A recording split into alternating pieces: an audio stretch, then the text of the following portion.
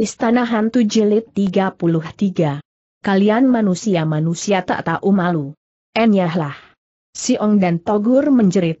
Mereka terdorong dan terlempar oleh pukulan pendekar rambut emas, yang lagi-lagi mengeluarkan pukulan anehnya itu, merah dan putih. Dan ketika Togur mencelat sementara Siong terguling-guling menyambar itu Ci, karena bengan DSH. Disambar ayahnya maka kakek itu berteriak dan lari ke tengah. Kita bersembunyi di istana hantu, cepat. Togur pucat. Dia ngeri dan gentar melihat pukulan itu tadi. Dua macam hawa yang berbeda menyerangnya dalam satu pukulan luar biasa, yang pertama dingin sementara yang lain panas. Jadi seolah dua kutub yang berlainan menggencetnya dari dua arah yang berbeda. Kalau saja pendekar rambut emas tak memecah pukulannya kepada si Ong pula mungkin dia sudah terbanting dan roboh, tak mungkin bangun lagi. Maka begitu si Ong berteriak padanya dan Togur meloncat bangun maka pemuda itu sudah melarikan diri dan mengikuti kakek itu. Hei, i, tunggu. Si Ong tertawa aneh. Saat itu pendekar rambut emas memberikan putranya pada Seng istri. Suat Lian terbelalak melihat semuanya itu dan mau mengejar. Tapi ketika Seng suami melempar bengan dan berseru padanya agar menyerahkan lawan dan tak usah ikut-ikutan maka nyonya cantik ini membanting kaki dan berseru gusar. Mana mungkin? Siong atau bocah itu telah menghina kita, suamiku. Aku tak mau tinggal diam dan tetap akan mengejar. Kalau kau hendak menangkap Siong silahkan, tapi aku akan membekuk bocah itu. Hektometer, boleh tapi jangan membunuh dan pendekar rambut emas yang sudah berkelebat dan lenyap di balik pek siansutnya akhirnya mengejar dan memburu si Ong. Mereka semua tak tahu betapa Tai Liong Jiang terlempar dan terduduk oleh tendangan Togur tadi harus mengerang dan merintih menahan sakit. Bukan tendangan itu yang membuatnya kesakitan, tapi oleh pukulan dan kata-kata ibunya tadi. Ah, Tai Liong memejamkan mata dan makian atau bentakan ibunya tadi serasa menusuk-nusuk ulu hatinya yang sedang berkarat. Begitu pedih, begitu tajam. Dan ketika ayah ibunya bertikai sendiri dan Soat Eng tertegun di samping ibunya maka pemuda itu diam-diam bangkit berdiri dan terhuyung memutari pulau. Tai Liong bukan hendak meninggalkan Sam Liong Tu justru sebaliknya hendak menyelamatkan itu Ci. Temannya itu jelas ditangkap Si Ong dan Si Ong telah berkata bahwa akan bersembunyi di istana hantu. Tempat itu amat luas dan merupakan istana bawah tanah. Ada jalan lain selain di tengah pulau, yakni di ceruk atau pantai bawah laut. Dia akan menyelam di situ dan memasuki istana hantu dari tempat yang lain, tempat yang merupakan jalan rahasia karena di situlah dulu dia bersama Soateng lepas dari tangan Si Ong, ketika Si Ong menangkap mereka berdua. Maka ketika ayah ibunya mengejar dua orang itu di tengah pulau maka pemuda ini sudah terhuyung-huyung menuju tempat yang tidak diketahui orang lain itu. Dan Tai Leong sudah menyelam. Berapa lama dia menyelam Tai Leong tak menghitung. Yang jelas berkali-kali dia harus menahan sakit dan menekan dada. Tapi ketika dia muncul di permukaan air di ujung terowongan itu maka Tai Leong sudah memasuki istana hantu melalui undak-undakan batu yang terus naik ke atas dan merupakan jalan yang gelap di mana dia harus menyalakan obor. SSTT. Tai Leong tiba-tiba mendengar sebuah suara. Ke sinilah, Kim Kong Chu. Naik dan matikan obormu. Tai Leong terkejut. Sesosok bayangan tiba-tiba muncul di tangga sebelah kiri dan menyongsongnya. Dia serasa mengenal suara itu tapi dalam saat begitu tak terduga tentu saja dia kaget. Maka ketika bayangan itu mengulurkan lengannya, bermaksud menolongnya naik tiba-tiba Tai Leong membentak dan melepas pukulan. Hei bayangan itu terkejut. Jangan serang, Kim Kong Chu. Aku kawan namun Tai Leong sudah terlanjur melepas pukulan, dikelit dan ditangkis dan bayangan itu pun terlempar, terguling-guling, menabrak meja kursi batu dan berseru pucat melompat bangun. Tai Leong bergoyang karena melepas pukulan tadi. Berarti mengerahkan tenaga, padahal dia terluka. Dan ketika dia menyeringai dan obor padam, tak kuat di tangan pemuda yang gemetar ini maka bayangan itu sudah menangkapnya dan mencengkeram. Kau terluka, seruan itu jelas bersahabat. Ah, bagaimana ini, Kim Kong Chu? Bukankah aku tak membalasmu? Siapa kau? Tai Liong lupa-lupa ingat. Kau membuat kaget namun aku serasa mengenalmu, mengenal suaramu. Aku Xiang Le, jawaban itu membuat Tai Liong tertegun. Aku orang yang memang sudah kau kenal tapi mungkin saja kehadiranku yang tiba-tiba ini membuat kau kaget. Tai Liong mencengkeram lawan. Benar, katanya. Kau Xiang Li. Eh, apa artinya ini, Xiang Li? Kau mau apa dan bagaimana bisa ada di sini? Kau tak kulihat bersama gurumu. Kau aneh tapi tak sama dengan gurumu. Hektometer, guruku memang susat, pemuda ini menarik napas dalam-dalam. Dan aku menyesal kenapa semuanya ini harus terjadi, Kim Kong Chu. Tapi tak apalah, aku sudah menjadi murid guruku. Dan aku akan menolongmu. Hektometer. Tai Liong mengerutkan kening, sedikit bercuriga. Menolong bagaimana, Xiang Le? Apa maksudmu? Aku akan membantumu mendapatkan temanmu itu. Bukankah kau datang untuk menyelamatkan itu Ci? Benar, Tai Liong tertegun. Tapi kau akan berhadapan dengan gurumu. Hektometer, aku sudah berkali-kali berhadapan. Dengan guruku itu, Xiang Le tersenyum pahit. Masalah itu tak perlu kau pikirkan, Kim Kong Chu. Pokoknya aku akan membantumu dan temanmu itu kuserahkan padamu. Bagaimana? Tai Liong tak menjawab. Sebenarnya dia ragu tapi juga tahu bahwa pemuda yang satu ini lain dari yang lain. Xiang Le tak sama dengan gurunya dan heran bahwa Si Ong bisa mempunyai murid macam itu, murid yang lebih suka membangkang daripada menurut. Tapi ketika Xiang Le bertanya lagi dan dia terbatuk, luka di dadanya kambuh tiba-tiba pemuda ini terhuyung dan mengeluh menahan sakit. Ah, kau luka, tak ingat itu. Xiang Le tiba-tiba terkejut, meloncat dan memegang pemuda ini. Bagaimana kau bisa begini, Kim Kong Chu? Siapa yang melukaimu? Tai Liong tak menjawab. Dia menggigit bibir dan tiba-tiba menggigil.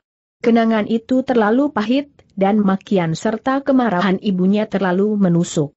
Ah, dia anak tiri. Dan ketika Tai Liong diguncang namun mendorong lawan maka dia minta agar Xiang Le tidak bertanya itu. Aku luka karena jatuh. Biarlah, aku dapat menolong diriku sendiri dan terima kasih atas bantuanmu. Tai Liong menelan obat, tak mau ditolong Xiang Le dan murid Si Ong itu tertegun. Sejenak Xiang Le melihat pemuda itu duduk bersila dan mengatur napas. Lalu ketika dirasa baik dan ringan tiba-tiba Tai Liong sudah bangun lagi dan berkata, aku dapat menjaga diriku sendiri. Sudahlah, aku tak mengharap bantuanmu karena tak ingin kau bermusuhan dengan gurumu sendiri. Tidak. Xiang Le tiba-tiba menghadang. Aku akan menolongmu setulus hatiku, Kim Kong Chu. Kalau kau terluka seperti ini tentu saja semakin besar hasratku untuk menolongmu. Kau tak mungkin menghadapi guruku. Hektometer, gurumu menghadapi ayahku, tak mungkin menghadapi aku. Benar, tapi kalau dia melihat kau dan menangkapmu tentu ayahmu semakin bingung, Kongcu. Marilah, turut kata-kataku dan kubawa kau ke dalam sebuah ruangan rahasia. Tai Liong mengerutkan kening. Xiang Le sudah menariknya dan tanpa menunggu jawaban lagi murid Si Ong itu membawanya ke atas. Obor sudah padam namun Xiang Le rupanya hafal akan tempat itu, terbukti pemuda ini dapat turun naik dengan enak. Dan ketika Tai Liong bimbang dan ragu menerima semuanya itu, karena janggal rasanya dia ditolong oleh seorang murid tokoh sesat maka pemuda itu sudah mengetuk sebuah dinding dan terbukalah pintu sempit terbuat dari baja. Suhu akan menyembunyikan tawanannya di sini, dan dia pasti datang. Nah, kau bersembunyilah di situ dan aku akan menyambut guruku. Hektometer, nanti dulu, Tai Liong mencengkeram. Kau dan aku sebenarnya bermusuhan, Siang. Le, Aku tak dapat percaya begitu saja dan... Jangan kau pergi. Ah, aku justru tetap di sini, pemuda itu mendesah. Dan tentang permusuhan harap jangan disebut-sebut, Kim Kong Chu. Gurukulah yang menciptakan semua itu. Aku secara pribadi tak terlibat. Tai Liong memandang tajam. Di dalam ruangan yang remang-remang dan tidak gelap ini dia dapat memandang wajah orang. Xiang Lei ditatapnya tajam tapi pemuda itu pun balas memandangnya tajam, tak takut, tak menyembunyikan perasaan yang lain dan Tai Liong harus mengakui bahwa tatapan lawannya itu begitu jernih dan jujur. Xiang Lei tak menampakkan sikap-sikap mencurigakan atau sebangsanya, pemuda itu tampak begitu sungguh-sungguh dan jujur. Namun karena Xiang Le adalah murid Si Ong dan apa pun bisa terjadi kalau Si Ong marah-marah kepada muridnya maka Tai Liong bersikap waspada dan berkata, Baiklah, aku tahu kau tak terlibat, Xiang Le. Tapi kalau seandainya gurumu kubunuh tentu kau akan marah dan menuntut balas. Nah, inilah yang harus kuwaspadai karena betapapun juga kau murid Si Ong. Hektometer, kau salah, Xiang Le malah menggeleng, sedih. Kalau guruku mati di tanganmu atau di tangan ayah ibumu aku tak akan menuntut balas, Kim Kong Chu. Karena guruku sudah berhutang jiwa dengan membunuh kakekmu. Aku tahu bahwa ayah dan terutama ibumu ingin menuntut balas, karena kematian Hu Tai Hiap. Tapi karena aku tahu guruku di pihak yang salah maka aku tak akan meneruskan benci-membenci ini dengan saling membunuh. Aku ngeri itu, aku sudah menasihati guruku. Tapi karena guruku seperti itu dan aku tak berdaya mencegah maka apa yang dilakukannya sudah menjadi resikonya pula kalau siapa yang menanam harus memetik buahnya. Kau tak membela gurumu. Orang salah tak patut dibela, Kim Kong Chu. Biarpun dia guruku tapi kalau salah tentu saja tak boleh kubela. Aku sudah menetapkan itu sejak dulu. Kalau begitu kau tak berbakti. Tai Liong mencoba berdebat. Salah atau benar Si Ong adalah gurumu, Xiang Li. Orang yang telah mendidik dan melepas budi kepadamu. Kau bakal dikutuk. Hektometer, inilah yang paling tak suka untuk dibicarakan. Budi dan kasih sayang guruku. Hektometer, aku sudah siap menerima kutukan itu, Kim Kong Chu, kalau guruku ingin mengutuk. Dan aku juga siap menyerahkan jiwaku kalau guruku menghendaki. Aku melihat hal yang berbeda antara budi dan kebenaran, dan aku telah memisahkannya. Kalau perbuatanku ini dianggap salah oleh guruku biarlah dia menghukum, aku siap menerima. Tapi kalau aku benar aku hanya menginginkan guruku itu insyaf dan sadar, merubah jalan hidupnya. Kau tak memberi muka gurumu. Kau bahkan berkata-kata seperti itu. Ah, kau tak pantas sebagai murid si Ong, Siang Li kau akan didamprat dan dimakinya habis-habisan. Aku sudah kenyang makian, dan aku siap mendapat kemarahannya. Sudahlah, urusan ini. Tak perlu dibicarakan lagi, Kongcu, hanya membuat hatiku pedih dan luka saja. Sebenarnya aku menyesal kenapa aku harus menjadi murid seorang sesat. Marilah, kau bersembunyi di situ dan dengar suara guruku datang.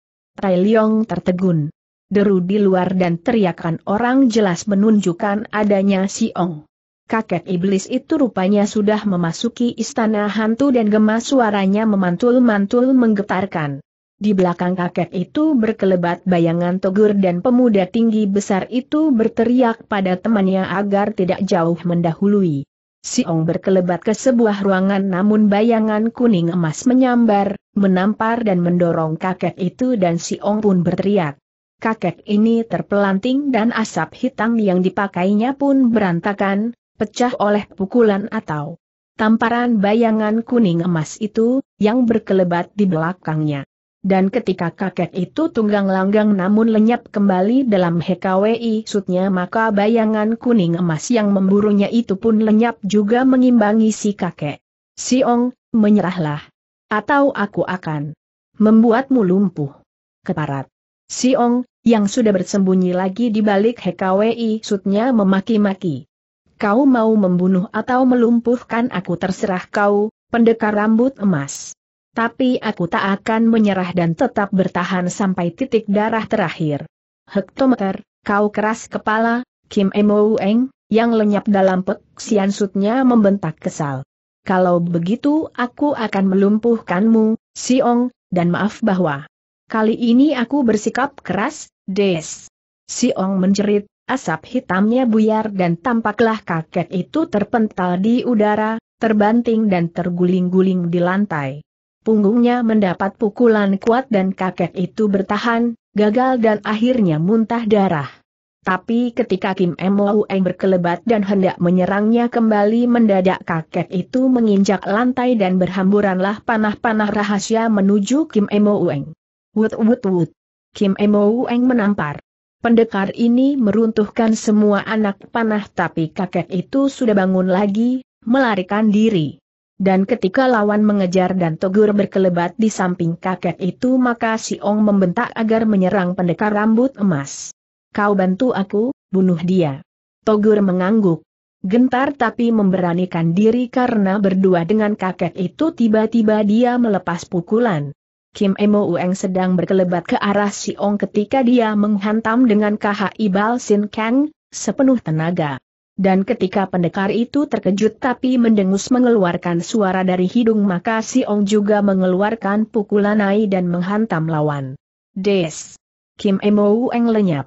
Cepat mengerahkan peksian sutnya tiba-tiba dia sudah menghilang ketika lawan menyerang.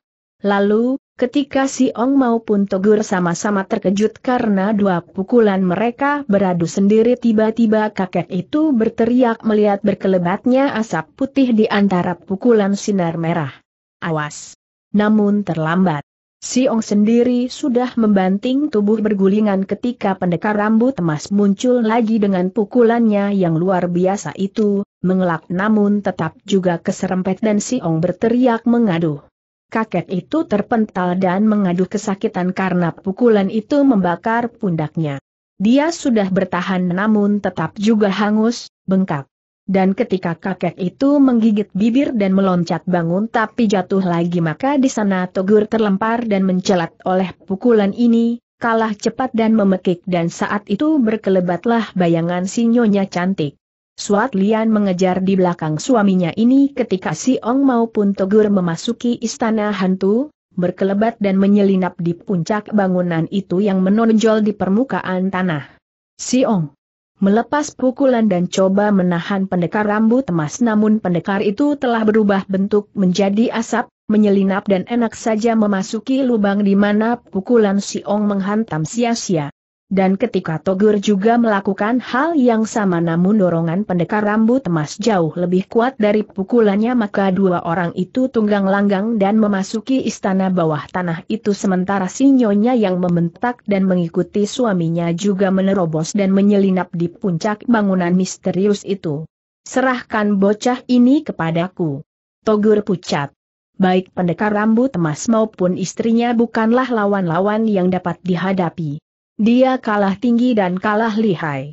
Pendekar rambut emas dan istrinya memiliki dua gabungan Lui Chiang Hoat dan KHI Bal Sin Kang, di samping sepasang ginkang mereka yang luar biasa itu, Jing Xian Eng dan Cui Xian Gin Kang.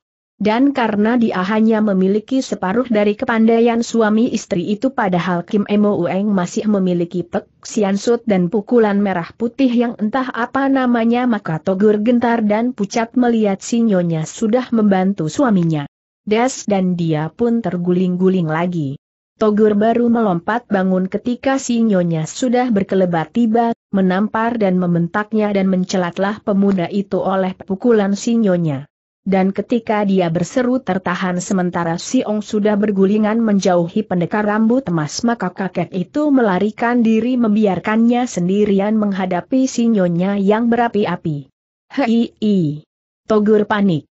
Jangan tinggalkan aku, Si Ong. Atau aku akan menyerah dan nanti menyerangmu sebagai musuh. Ketarat. Si Ong bingung. Kalau begitu pegang tanganku, Togur pejamkan mata dan berlindung di balik HKW Isut, slap.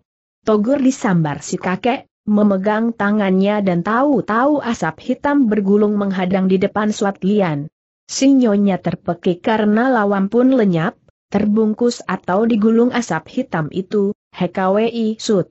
Namun ketika suaminya menyambar dan pendekar rambut emas berkelebat dalam bentuk asap putih ternyata asap hitam dipukul pecah dan Togur tampak lagi, terlempar. Siong, bocah itu bagian istriku. Kau bagianku.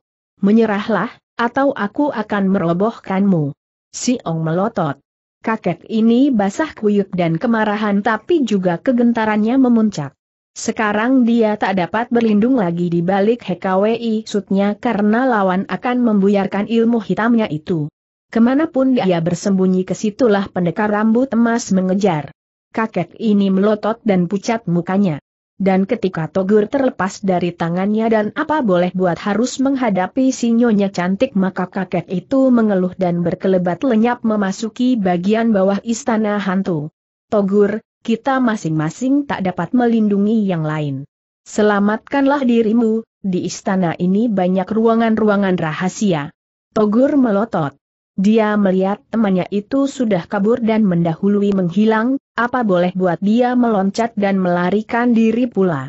Tapi, ketika di belakang berkelebat sesosok bayangan ramping dan Soat Eng muncul di situ, mencegatnya, maka pemuda ini mendelik dan marah. Kau menggangguku di sini? Jahanam, mampuslah. Namun Soat Eng sedikit saja di bawah ibunya. Gadis ini pun sudah memiliki Lui Chiang Hoat dan Cui Sian Gin Kang, berkelit dan lenyap di hadapan lawan ketika dia diserang. Dan ketika Togur terbelalak dan terkesiap kaget, maklum bahwa Soateng pun bukan gadis biasa maka gadis itu muncul di belakangnya dan tamparannya mengeluarkan kesiur angin dingin ketika membalas. Togur, aku ingin kau mengembalikan cermin naga. Nah, Berikan baik-baik atau aku dan ibu akan menghajarmu, Des. Togur. Menangkis, lupa bahwa di belakang masih ada sang nyonya yang tak mau tinggal diam ketika pemuda itu menyerang Soareng. Maka ketika Togur menangkis namun di belakangnya lagi berkesyur pukulan lain maka pemuda itu menjerit karena tiba-tiba kepalanya serasa disambar petir. Aduh pemuda ini terjengkang, Pening memegangi kepala dan saat itu Soat Eng maupun ibunya berkelebat mengejar. Sehebat-hebatnya pemuda ini tetap saja dia bukan tandingan lawannya. Maka ketika dia mengelak namun sebuah tendangan mengenai pangkal telinganya maka totokan nyonya lihai itu mendahului anaknya dan tepat menyentuh tengkuk Togur. Bluk. Togur roboh tak mengeluarkan suara lagi. Pemuda itu pingsan dan Suat Lian hendak menampar pecah kepalanya ketika Soat Eng tiba-tiba berteriak memperingatkan ibunya. Gadis itu berkelebat di depan dan menahan lengan ibunya itu, berseru bahwa ayah mereka melarang membunuh. Suat Lian mendelik namun teringat Tai Leong. Seperti itulah Tai Leong mencegahnya dan dia pun melemaskan tangan, menepis namun tubuh Togur ditendangnya mencelat lagi hingga menumbuk dinding, patah hidungnya dan ngocorlah darah merah dari luka di wajah pemuda yang sedang pingsan ini. Dan ketika Bengan berkelebat di situ dan muncul membenarkan encinya maka nyonya itu membanting kaki dan menyuruh Soat yang mengikat tawanan. Baiklah, aku akan terus masuk ke dalam. Jaga dan ikat dia dan tidak menghiraukan anak anaknya lagi karena dirundung kecewa akhirnya nyonya ini menghilang ke dalam dan memasuki lorong demi lorong untuk mencari si Ong. Soat Eng sendiri sudah mengikat dan menangkap Togur, bersebelahan dengan nenek Jimoi dan Toachi yang tadi juga hampir dibunuh ibunya. Dan ketika Enci adik itu mengusap keringat karena peristiwa demi peristiwa yang dialami cukup mendebarkan maka terdengarlah seruan seseorang di atas sana. Kim Xiaochia, kau tak apa-apa ini aku, Jipin. Tolong buka lubang ini lebih lebar agar aku dapat membantumu di dalam. Soat Eng tertegun. Di atas bangunan terlihat sebuah tangan mendorong-dorong dan coba membuka lubang lebih lebar. Tadi si Ong menghantam tempat itu berusaha menutup. Dalam upayanya menghalangi ayahnya agar tidak dapat masuk.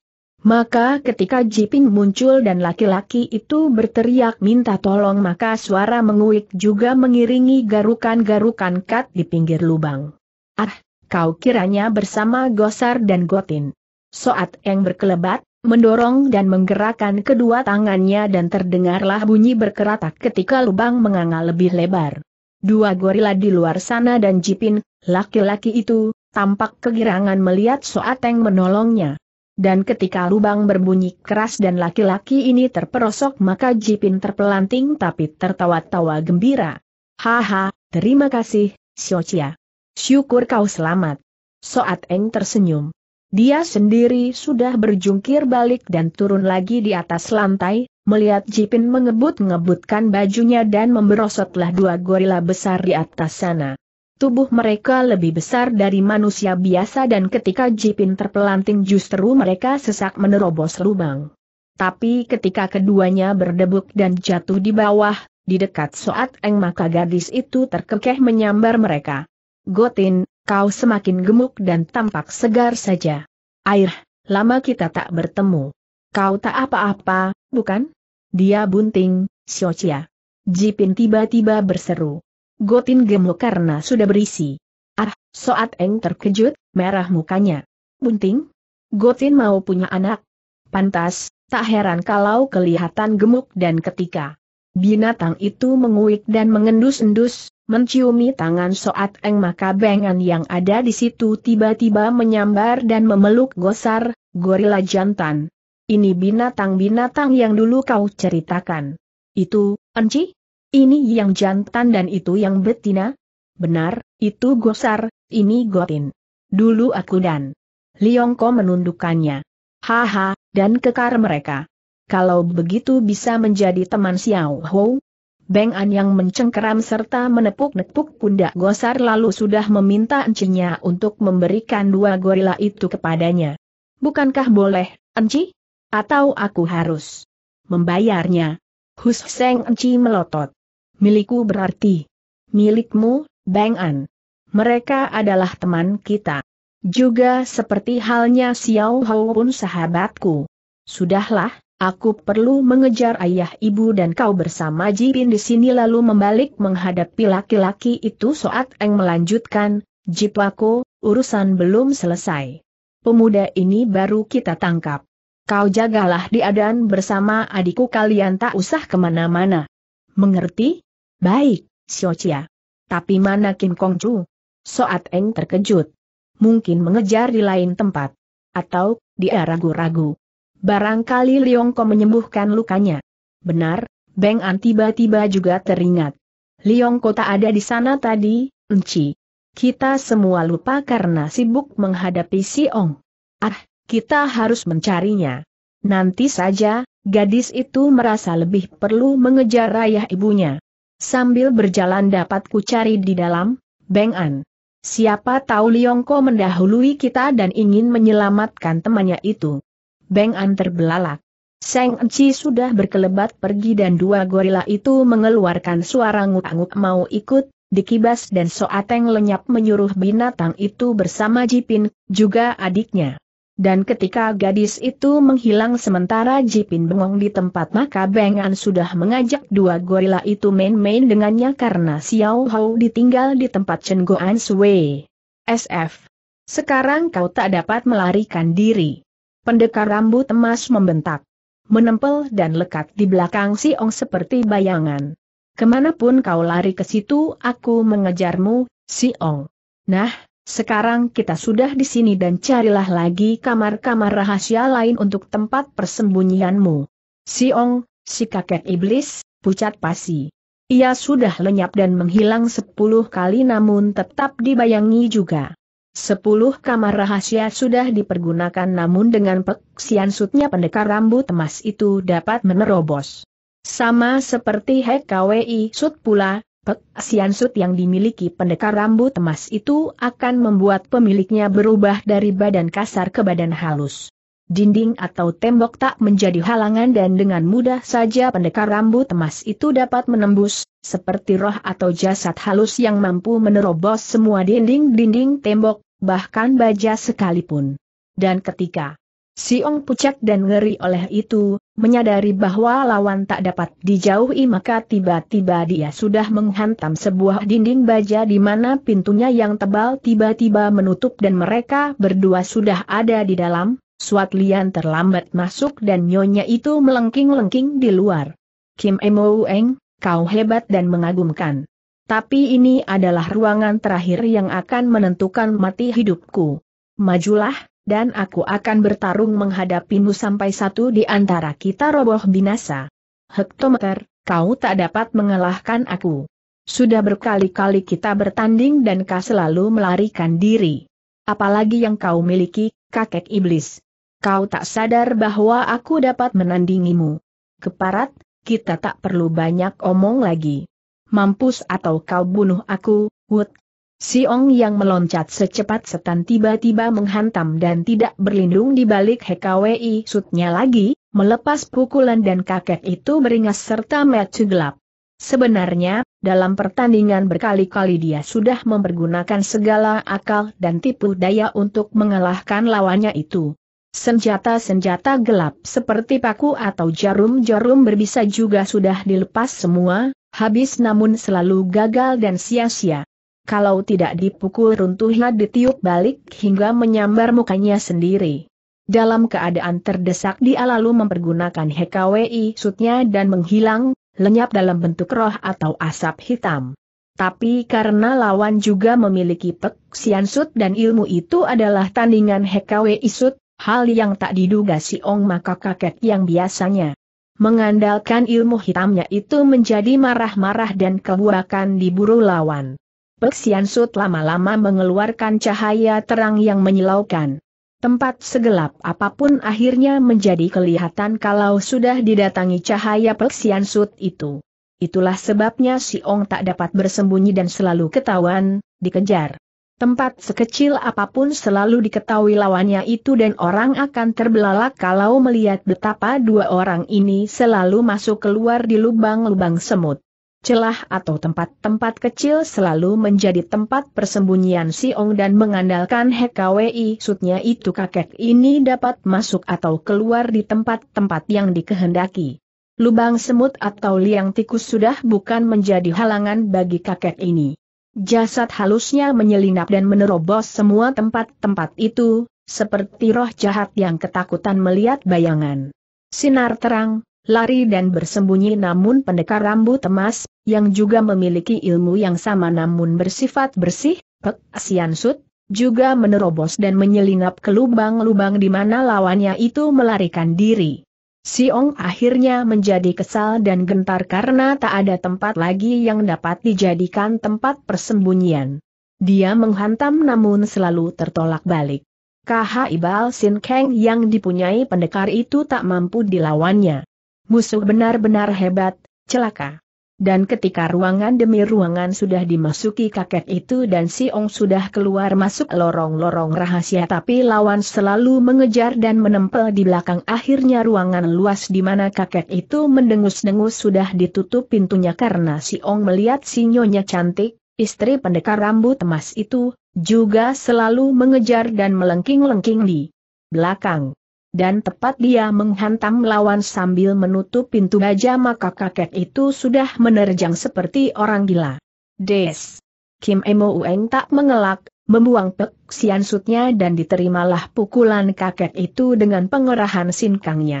Itu Ci masih dipondong kakek itu dengan sebelah tangan yang lain dan kakek itu terpelanting, menggeram dan maju lagi dan pukulan demi pukulan menghantam dahsyat. Siong meliar matanya dan Sin Reciang, silat tangan karat tiba-tiba dikeluarkan. Ilmu ini belum dipergunakan dan baru kali itulah dikeluarkan. Kedua tangan memulur panjang dan tahu-tahu sudah menangkap leher Kim Emo Eng, mencengkeram dan membanting dan pendekar rambut emas itu terkejut karena gerakan lawan demikian tak terduga. Dan karena Sin Reciang memang belum dikeluarkan dan baru kali itulah diperlihatkan maka si Ong mengangkat tinggi-tinggi namun lawan berseru keras mengerahkan Jingkin Kang, tenaga seribu kati. Hai it. Si Ong terkejut. Lawan tak bergeming dan tubuh pendekar rambut emas itu tiba-tiba berubah seperti gunung, kokoh dan tegak tak terangkat dan tentu saja kakek ini marah. Dia menambah tenaganya namun lawan juga menambah tenaganya. Dan ketika kakek itu mendelik dan marah memandang lawan tiba-tiba pendekar rambut emas menggerakkan tangannya dan sebuah tamparan mengenai pelipisnya. Plak kakek itu malah terbanting. Si Ong mendelik dan memaki-maki dan segera maju lagi dengan penuh kemarahan. Sekali dicoba. Ternyata Sinraj yang gagal. Keparat, kakek itu marah sekali. Dan ketika pukulan demi pukulan dilepas lagi namun semua itu hanya dikelit atau ditangkis lawan akhirnya kakek itu menggeram mengancam tawanannya, melihat pendekar rambut emas mulai maju dan mendesak, empat kali membantingnya roboh. Kim Emo Eng, kau bunuhlah aku. Namun, bocah ini juga kubunuh. Hektometer, kau manusia pengecut. Selamanya licik dan curang. Bocah itu tak tahu apa-apa, si Ong.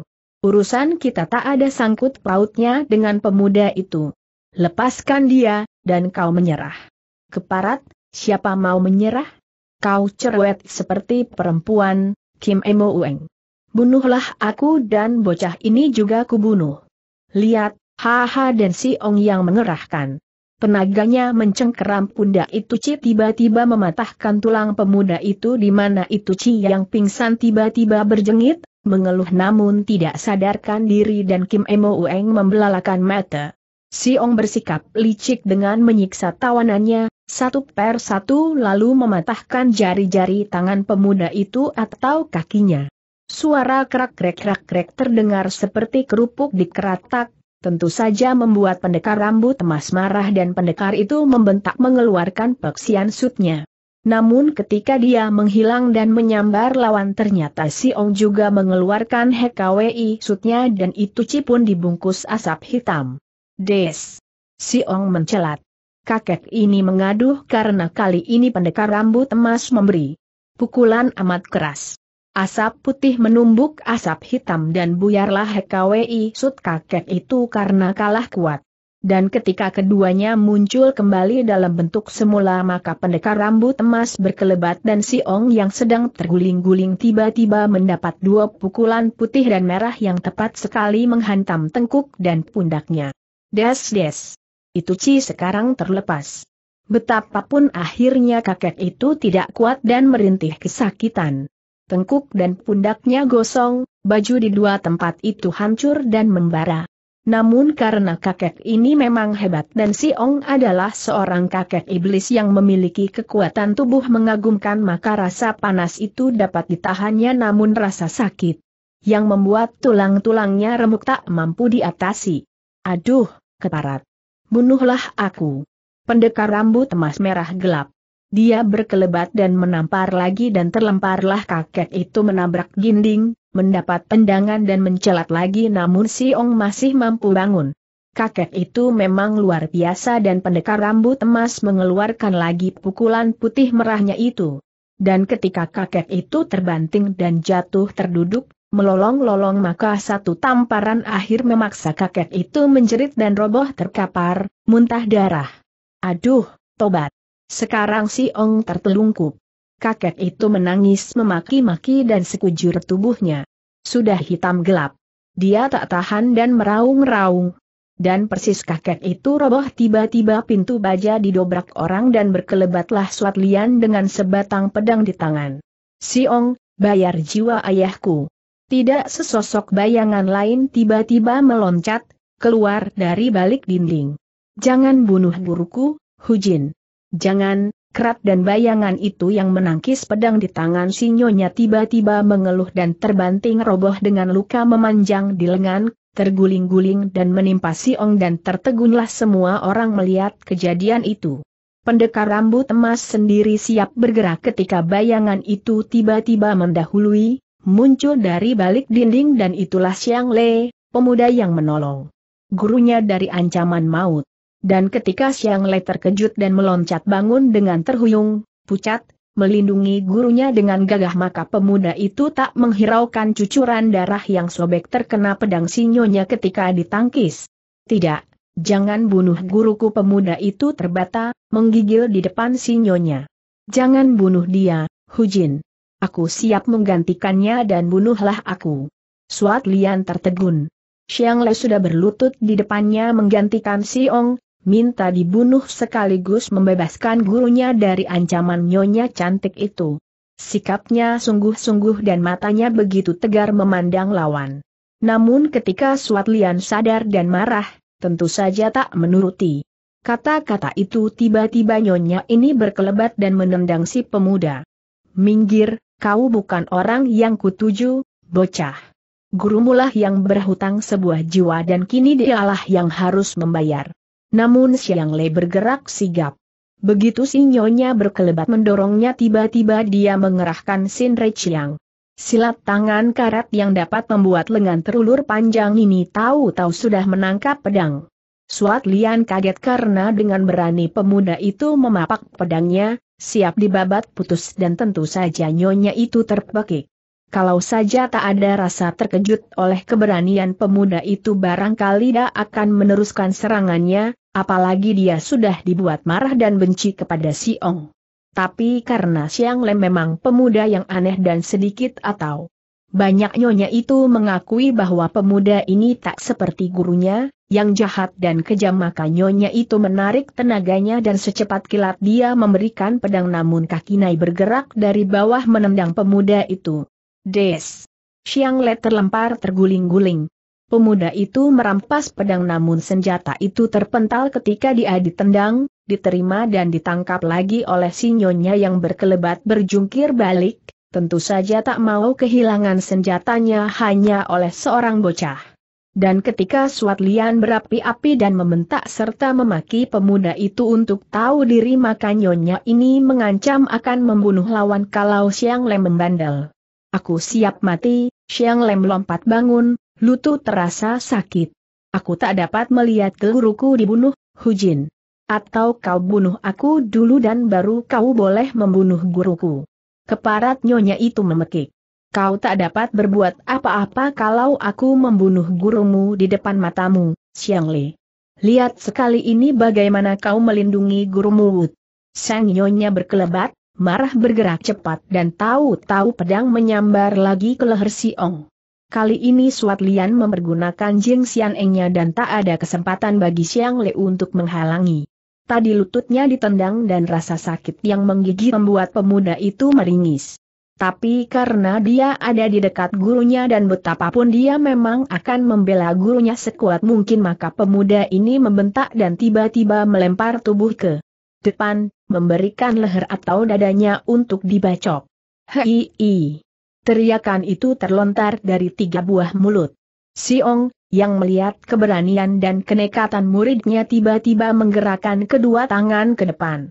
Kakek ini lumpuh namun HKWI sutnya dapat bekerja, cepat membentuk asap hitam dan asap yang menyambar Siang Le itu tiba-tiba membuat si pemuda lenyap. Suat Lian kaget karena sekarang si Ong pun lenyap. Tapi ketika terdengar bentakan di sebelah kiri dan pendekar rambut emas juga berkelebat mendorongkan kedua lengannya, mengibas asap hitam maka si Ong pun kelihatan lagi dan saat itu pedang sinyonya membabat ke depan, semua kejadian berlangsung cepat luar biasa. Krak! Si Ong buntung lengannya. Kakek itu berteriak tinggi dan pendekar rambut emas telah melakukan jalan terbaik bagi istrinya. Pendekar itu tadi tak dapat membiarkan Siang Lem menjadi korban tapi juga tak mau si Ong tak mendapat hukuman. Maklumlah, dendam istrinya sudah sedemikian dalam dan kematian Hu Beng Kui memang harus dibalas. Si Ong harus mempertanggungjawabkan perbuatannya dan saat itulah pendekar ini melakukan jalan yang terbaik bagi semua pihak. Dan ketika kakek itu menjerit dan roboh terbanting, lengan kirinya buntung sebatas siku maka Siang Lei yang muncul lagi karena Hek KWI sut gurunya dipukul buyar tampak tertegun membelalakan mata. Suhu. Si Ong menahan sakit. Kakek itu mendelik dan seakan tak percaya melihat kutungan tangannya yang terlempar di tanah. Jari-jari tangan itu masih bergerak-gerak tapi akhirnya diam, kaku, bercucuran darah dan luka di siku lengannya itu pun mengeluarkan darah yang deras mengalir. Siong membelalakan mata. Namun ketika kakek ini mengeluh dan terbanting roboh, ditubruk dan diteriaki muridnya tiba-tiba Siong mengeluarkan suara menyeramkan dan tangan yang menggeletak di atas tanah itu sekonyong-konyong ditiup dan melejit menyambar muka Suat Lian. Kim Hujin, kau jahanam keparat. Suat Lian terkejut. Dia tersentak melihat kutungan tangan bisa menyambar ke arahnya. Tangan itu seolah hidup dan jari-jari yang tadi kaku dan mendadak bergerak, mergang dan mencoblos matanya. Nyonya ini mengelak namun tangan buntung itu dapat mengejar, persis tangan setan yang berisi roh hidup. Dan ketika apa boleh buat dia harus menggerakkan pedangnya untuk membacok maka tangan itu putus lagi namun kini dua tangan yang buntung sama-sama menyerangnya, melejit dan terbang lagi menyambar begitu jatuh ke tanah. Haha, tahu rasa kau, nyonya siluman. Bacoklah dan kutungi lagi dan setiap kutungan akan menyambarmu dari mana-mana. Benar saja, Suat Lian tiba-tiba saja diserang dan disambar jari-jari yang kutung atau tangan. Yang dibacok beberapa kali itu dari segala penjuru. Seng Nyonya sudah menggerakkan pedangnya namun setiap kutungan tangan itu putus maka yang putus ini akan melejit dan menyambar lagi seperti tangan iblis. Lima jari yang akhirnya rontok di babat itu beterbangan menyambar mukanya darah yang berlepotan mengenai nyonya ini dan terpekiklah sang nyonya oleh kejadian mengerikan itu. Si Ong ternyata benar-benar iblis hingga dengan ilmunya kakek itu dapat menghidupkan kutungan tangannya untuk menyerang si nyonya. Setiap dibacok tentu jatuh ke tanah tapi menyambar lagi, jumlahnya mendekati dua puluhan dan kutungan tangan yang sudah berubah bentuk sebagai tulang-tulang kecil yang mandi darah ini menyerang si nyonya. Suat Lian ngeri dan hampir menangis pingsan. Tapi ketika pendekar rambut emas berkelebat ke Siong dan membentak serta menusuk telinga kakek itu, yang tiba-tiba mengeluarkan ledakan nyaring maka Siong berteriak tinggi dan sekonyong-konyong lenyap tanpa bekas. Aduh! Dan bersamaan itu pula runtuhlah semua sisa-sisa tangan yang tadi beterbangan seperti setan. Suat Lian terhuyung dan jatuh terduduk, mukanya pucat, tubuh menggigil dan nyaris nyonya ini tak dapat bernapas. Dia sesak oleh kejadian mengerikan itu, melotot melihat dua puluh hutungan tulang-tulang kecil akhirnya berserakan di tanah. Bentuknya sudah tak keruan tapi serapihan jari atau tulang-tulang kecil itu sudah tak menyambar-nyambar lagi, seakan sudah tak bernyawa dan nyonya itu tertegun menatap pucat. Seumur hidup, Baru kali itulah dia melihat kejadian luar biasa yang tidak mirip manusia. Siong memang telah mempergunakan kekuatan ilmu hitamnya untuk menyerang nyonya cantik itu, melalui kutungan tangannya yang sudah dibabat si nyonya, HKWI Sud yang luar biasa karena dengan ilmu hitam itu kakek ini dapat menghidupkan benda-benda mati yang lain, apalagi bagian dari tubuhnya sendiri. Tapi ketika pendekar rambut emas berkelebat dan menusuk telinganya, meledak, maka sesuatu keluar dari telinga kakek itu dan sebuah bayangan mirip ular melesat dan menghilang meninggalkan si kakek, yang melolong-lolong tapi tidak kelihatan orangnya. Aduh, tobat, ampun. Xiang Le dan Suat Lian membelalakan mata. Mereka mendengar ratap dan raungan kakek itu namun si Ong tak tampak di mana. Suaranya begitu kecil dan lirih, memilukan. Tapi ketika pendekar rambut emas membungkuk dan menjumput sesuatu di tanah maka dua orang itu terpekik melihat si Ong sudah berubah menjadi manusia sebesar jari telunjuk. Suhu. Xiang Le menyambar ke depan. Pemuda ini kaget sekali melihat betapa gurunya sudah berubah begitu kecil, merupakan manusia mini yang amat kerdil, ditangkap dan dijepit dua jari pendekar rambut emas untuk diletakkan pada telapak tangannya. Dan ketika pemuda itu tersentak dan menjerit memanggil gurunya, yang merintih dan meratap maka si ong kakek tinggi besar yang kini menjadi manusia amat kecil itu memaki-maki pendekar rambut emas. Kim Emo Eng, kau jahanam kekarat. Kau memusnahkan sumber ilmu hitamku. Hektometer, tak ada jalan lain, pendekar ini menarik napas dalam dan menjepit leher lawan, yang begitu kecil. Kau jahat dan licik, Si Ong. Seharusnya kau dibunuh tapi Sian Su melarangku. Kau harus memasuki tempat ini dan selamanya tak boleh berkeliaran lagi. Tidak. Si Ong tiba-tiba menjerit, melihat pendekar rambut emas mengeluarkan semacam kotak emas yang amat kecil, sebesar bangun tubuhnya. Jangan masukkan aku ke situ, Kim Emo Ueng. Jangan kurung aku di situ. Aku bertobat, ampun. Namun pendekar rambut emas tersenyum pahit. Istrinya yang berkelebat dan terbelalak mau meremuk lawan sudah didorongnya minggir. Dengan sungguh-sungguh dan berwibawa pendekar itu berkata bahwa Sian Su tak memperbolehkan mereka membunuh, Si Ong harus dilumpuhkan ilmunya dan ditangkap atau dikurung di kotak emas itu, yang merupakan sebuah kerangkeng mini yang amat kecil. Dan ketika kerangkeng dibuka dan si Ong berteriak-teriak namun tidak diperdulikan maka kakek itu sudah dijebloskan dan Suat Lian maupun Siang Le terbelalak melihat kerangkeng digembok dari luar, juga gembok yang amat kecil dan mini, seperti dongeng seribu mimpi. Aku telah menghancurkan sumber kekuatan HKWI Sut kakek ini. Sekarang gak akan mendapat hukuman seumur hidup. Semua persoalan selesai dan kematian Gakau, ayah mertua, tak perlu diperpanjang lagi. Tapi, Suat Lian melotot. Dia berbahaya dan kejam, suamiku. Dan si Ong telah berhutang banyak jiwa kepada orang-orang lain yang dibunuhnya. Itu sudah lewat. Si Ong tak dapat melakukan kejahatannya lagi dan hukuman ini diharap menyadarkannya sebelum ajal. Aku hanya memenuhi kata-kata Siansu dan kalau kau ingin mendebat bertanyalah saja kepada Siansu, dan tidak membiarkan istrinya dilanda dendam lagi pendekar rambut emas lalu bergerak dan tiba-tiba hendak membuang kerangkeng itu ke angkasa.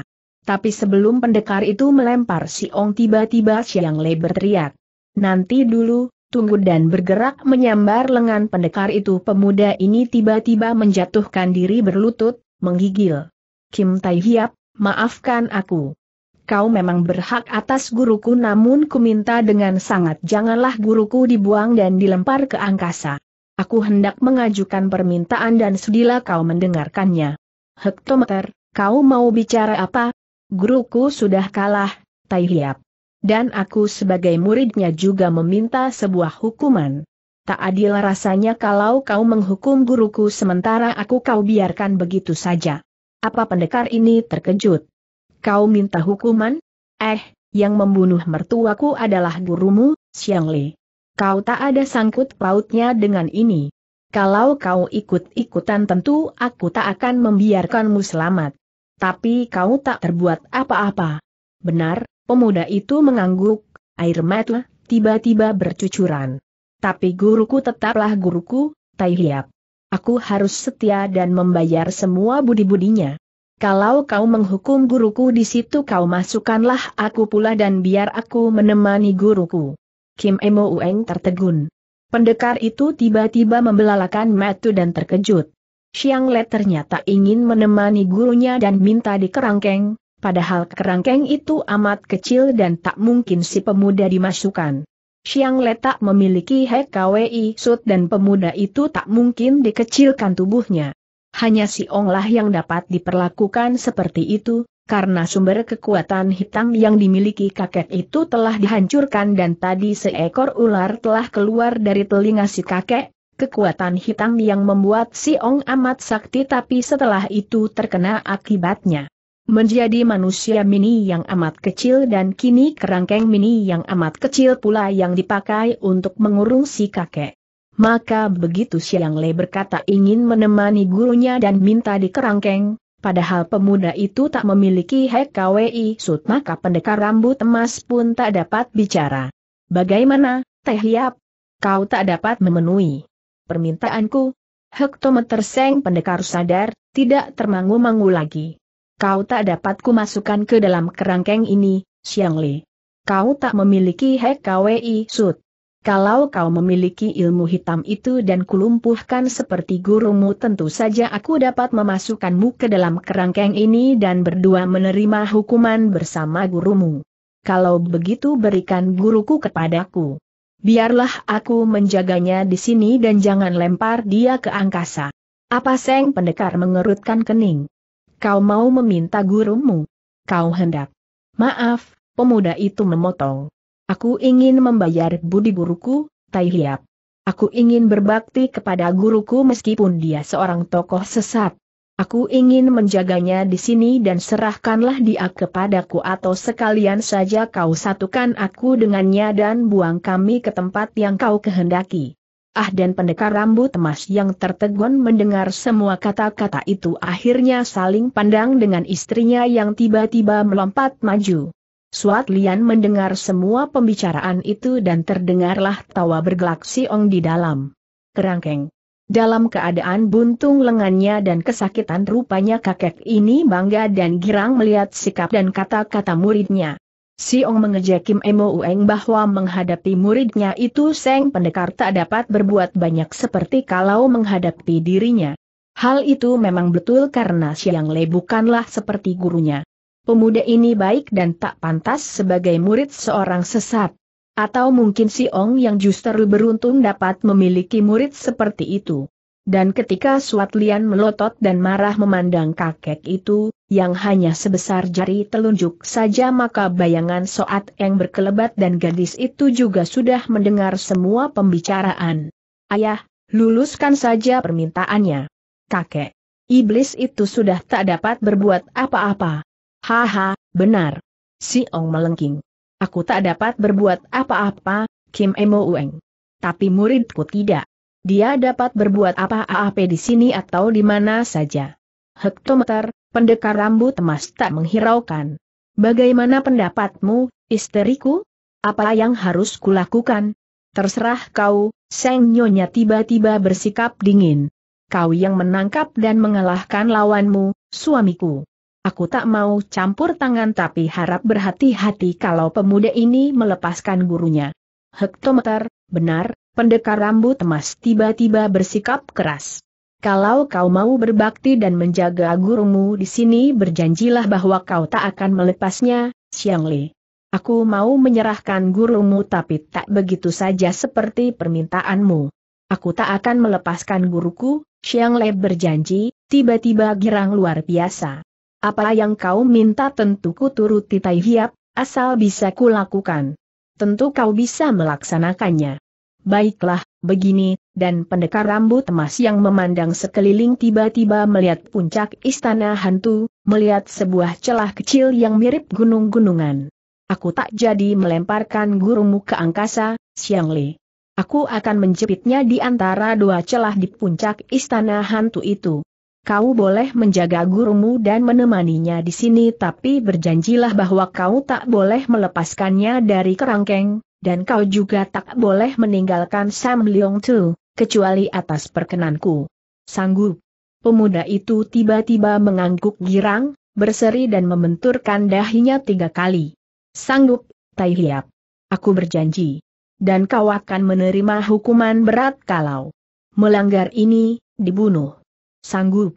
Aku sanggup, Aku berjanji dan Siang Lei yang bersumpah atas nama nenek moyangnya lalu berulang-ulang menyatakan janji atau kesanggupannya itu, juga hukuman yang akan diterima kalau dia melanggar. Dibunuh pun dia mau, kalau dia sampai melepaskan gurunya.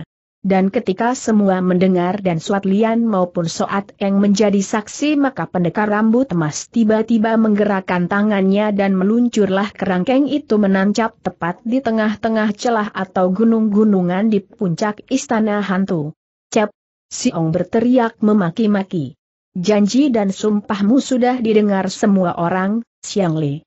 Kalau kau melanggar harap terima hukumannya dan jangan menyesal. Xiang Li mengangguk. Untuk kesekian kalinya lagi dia membenturkan dahi di atas lantai, bersumpah. Dia menyatakan bahwa kerangkeng itu tak akan dibukanya. Bahwa dia akan membiarkan gurunya di situ dan akan menjaga serta menemani, seumur hidup. Dan ketika gurunya berkauk-kauk di sana tapi siang letak menghiraukan maka pendekar rambut emas bersinar-sinar dan kagum memandang pemuda itu. Sesungguhnya dia percaya dan tak memiliki keraguan sedikit pun. Ia kagum akan bakti dan kesetiaan pemuda ini kepada Siong, hal yang membuat perasaannya tergetar, tersentuh. Tapi ketika Soat Eng terisak dan membuat semua menoleh, terkejut, maka buru-buru gadis itu berkelebat pergi menyatakan bahwa dia khawatir akan kakaknya, Tai Liong. Liong kau terluka, aku belum menemukannya, Begitu gadis itu lenyap meninggalkan ayah ibunya. Pendekar rambut emas tertegun, menoleh pada istrinya tapi tiba-tiba istrinya itu pun meloncat pergi, berkelebat keluar. Benar, sang istri pun berseru menahan tangis. Tai Liong terluka, suamiku. Aku tadi memukulnya. Aku ingin mencarinya. Pendekar rambut emas terkejut. Sekarang gak merasa urusan sudah selesai dan robohnya si Ong sudah tak merupakan ganjalan lagi. Tapi mendengar puteranya terluka dan itu disebabkan istrinya yang memukul maka Kim. Mo Eng berubah dan tiba-tiba mau bergerak ke depan, mengejar.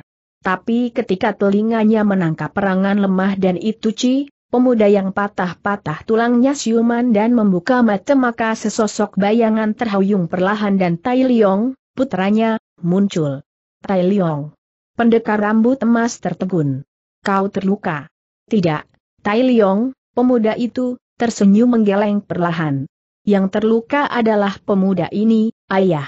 Aku akan menolongnya dan jangan kau khawatir tentang aku. Tai Liong sudah membungkuk, menolong itu Ci dan sebentar kemudian pemuda itu sudah memapah temannya. Itu Ci merintih dan Tai Liong mengeluarkan obat menyambung tulang-tulang temannya yang patah, menjejalkan. Beberapa butir obat lagi ke mulut pemuda dan tertegunlah pendekar rambut emas melihat gerakan yang gemetar dan kaki yang terhuyung dari putranya dan ketika dia berkelebat dan mencengkeram pundak puteranya maka pendekar itu terkejut melihat puteranya terluka agak hebat. Kau terpukul pukulan berat. Rupanya ibumu. Bersungguh-sungguh. Tidak, Tai Liong menutupi keadaan. Aku tak apa-apa, ya. Aku memang terpukul tapi itu hanya kesalahpahaman kecil saja. Sudahlah, biarkan aku menolong itu Ci dan jangan kau ganggu aku, dan Tai Liong yang mengangkat serta menotok beberapa jalan darah di tubuh itu Ci lalu bangkit berdiri dan tampak menguatkan diri untuk memperlihatkan kekuatannya yang biasa. Lihat, aku tak apa-apa, katanya. Kau tak perlu khawatir tentang aku, ya. Aku akan membawa itu Ci ke tempat yang enak. Kau mau ke mana Seng Ayah berubah, jelas. Melihat puteranya menguat-nguatkan diri. Kau tak dapat membawa itu Ci jauh-jauh, Liong Ji. Kau harus tetap di sini dan biar aku menolongmu. Ceritakan apa yang terjadi kenapa ibumu memukul. Ibu salah mengira lawan, Tai Liong tersenyum, pahit. Tadi aku membela Jimoi dan Toachi, ayah. Tapi ibu marah-marah. Maka ketika dia hendak membunuh nenek itu dan aku lancang menangkis maka pukulannya mendarat dan aku sedikit terguncang. Tapi mukamu pucat kau tampaknya muntah darah. Ah, sudah ku beri obat, ya. Sudahlah, aku akan menolong itu Ci dan jangan kau marah kepada ibu, dan Tai Liong yang memondong serta berjalan pergi akhirnya terhuyung dan tersaruk melangkah, keluar dari istana hantu dan menuju pantai. Dan ketika pendekar rambut emas bengong dan masih membelalakan mata maka putranya itu sudah meletakkan itu Ci ke dalam sebuah perahu yang entah milik siapa. Aku ingin mengantar itu Ci kepada ibunya. Sekali lagi harap ayah tidak memarahi ibu karena semua itu adalah kesalahanku. Tunggu. Pendekar rambut emas berseru, serak. Kau bersungguh-sungguh, Tai Liong. Kau tak berdosa kepada ayahmu. Ah, pemuda ini tertawa, memaksa diri. Aku tak pernah bohong padamu, ayah. Akulah yang salah dan jangan kau memarahi ibu. Sudahlah, Aku akan membawa itu Ci dan nanti aku pulang ke rumah. Pendekar rambut emas membelalakan mata. Dia bingung dan ragu akan semua itu. Perasaannya mengisyaratkan bahwa ada sesuatu yang hebat yang telah terjadi antara puteranya ini dengan istrinya. Betapapun dia mengenal dan dapat menangkap gerak-gerik puteranya, terutama senyum pahit yang berkali-kali terlihat dipaksakan itu. Ah, dia paham betul. Tapi karena itu Ci memerlukan pertolongan dan Tai Liong cukup mampu untuk melakukan itu, meskipun terluka, maka pendekar rambut emas mendorong ketika putranya itu melambaikan tangan mendorong perahu. Ayah, sampai ketemu lagi. Akan ku sampaikan salamu kepada Bibi Chao Chun. Seng pendekar terkejut. Dia mengangguk begitu saja tanpa sadar, perahu bergerak dan lenyaplah Tai Liong meninggalkan Sam Liong Tu. Dengan kekuatannya yang masih ada putranya itu mendorong dan mengayuh perahu, sepertinya cepat-cepat ingin pergi dan tak kerasan di Sam Leong Tu. Aneh, padahal orang tuanya ada di situ. Tapi ketika pendekar ini bengong dan mengamati dengan mata, tak berkedip maka tiba-tiba berkelebat dua bayangan dari kiri kanan. Liong Ji, Liong Ko, istri dan anaknya muncul. Suat Lian dan Soateng berteriak hampir berbareng memanggil. Pemuda itu, dua-duanya sama menangis. Dan ketika pendekar ini mengerutkan kening karena Tai Leong sudah jauh meninggalkan pulau maka Suat Lian melengking panjang dan tiba-tiba menggerakkan tubuhnya berjungkir balik meluncur di atas permukaan air. Hei, pendekar rambut emas terkejut. Mau ke mana kau, Niochu? Kembali. Namun Suat Lian yang melengking dan memanggil-manggil di sana ternyata tak mau sudah dan terus bergerak mengembangkan kedua lengannya di kiri kanan. Nyonya ini seakan kalap dan pendekar rambut emas tentu saja khawatir. Dia baru saja melihat putranya dipukul oleh istrinya ini. Maka menduga jelek dan mengira Seng istri akan marah-marah lagi tiba-tiba pendekar itu berkelebat dan istri yang sudah bergerak. Gerak jauh di sana tiba-tiba disambar dan dibawa kembali. Jangan gila. Tai Liong sedang membawa. Itu Ci dan mengobati pemuda itu. Ah, Lepaskan Seng istri meronta. Aku bersalah, suamiku. Aku telah menyakiti anakku itu. Tai Liong terluka, aku ingin minta maaf. Tapi dia sudah tidak apa-apa, pendekar rambut emas mengira luka fisik, tak tahu bahwa yang dimaksud adalah luka hati. Putra kita itu sengaja menjauhi dirimu, Niochu. Aku tahu dan biarlah sementara ini dia mendapat pelajarannya. Tidak-tidak Seng istri malah meronta dan menendang-nendang. Yang luka bukan sekedar tubuhnya, suamiku. Melainkan hatinya. Ah, aku telah memakinya sebagai anak tiri dan aku ingin meminta maaf. Apa? Kim Emo Ueng tersentak. Kau, kau, apa yang terjadi? Aku memaki-maki dan marah-marah kepadanya, suamiku. Aku mengutuk Tai Leong sebagai anak tiri yang tak disukai ibunya. Aku, ah, aku ibu yang tidak pantas menjadi istrimu dan Suat Lian yang memberosot serta lepas dari suaminya tiba-tiba berkelebat dan berjungkir balik meluncur lagi di permukaan air. Lalu begitu dia berteriak dan memanggil-manggil Tai Leong, yang sudah tidak kelihatan maka nyonya ini sudah menggerak-gerakan kedua tangannya mendayung dan terbang di atas air yang berkeriput perlahan, tanpa ombak.